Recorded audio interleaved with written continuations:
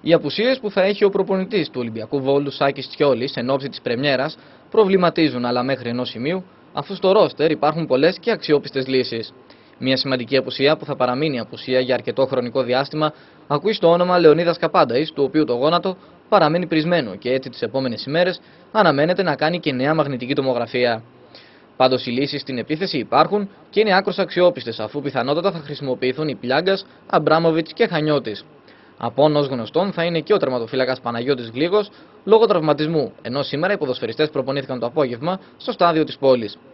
Προγραμματισμένο τέτα τέτ υπάρχει μεταξύ του Προέδρου της ΠαΕ, Αχιλέα Μπέου και των οργανωμένων οπαδών στο δημοτικό στάδιο με θέμα συζήτησης όλα όσα απασχολούν το σύλλογο. Στις τάξεις της ομάδας υπάρχει συγκρατημένη αισιοδοξία και πίστη για το πρώτο τρίποδο της χρονιάς.